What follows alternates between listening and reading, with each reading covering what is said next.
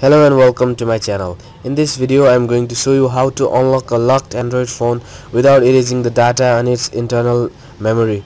Uh, before doing this you need to have a, a locked Android phone with custom recovery installed and an external SD card and a file that can be downloaded from the link in the description given below. Um, now you have to download the file and copy it to your external SD card which I have already copied in this SD card. And now you have to insert the SD card into the phone.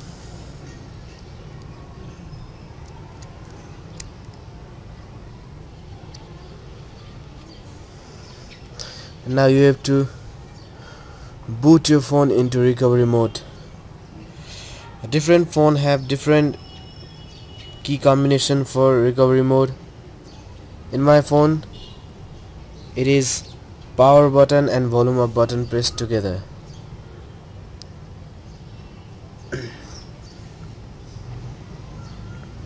Now you are into recovery mode.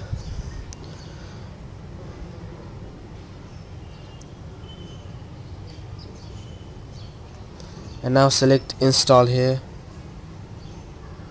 Then select the file that you have copied into your external SD card from external SD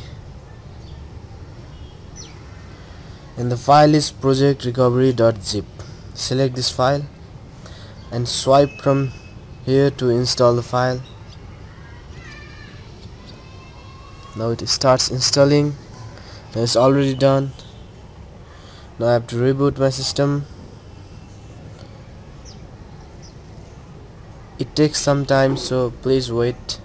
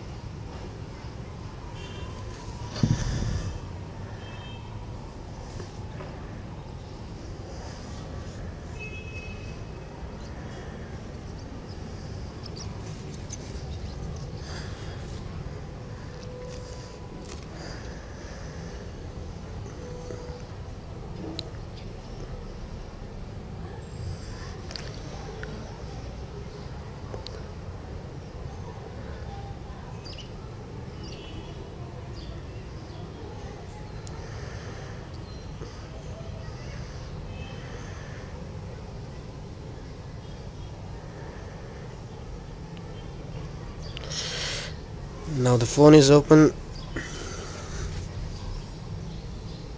And any pin or password was there before it is gone now. You can erase pattern lock or pin code lock or password lock from this method. That's it for now. Thank you for watching. If you have any problems regarding custom recoveries or rooting your android device you can let me know by leaving a comment down there. If you had any problem while unlocking this uh, locked android device then you can also let me know by leaving a comment down there. And if this video really helps then let other know by sharing it and subscribe to the channel for upcoming new videos. Thank you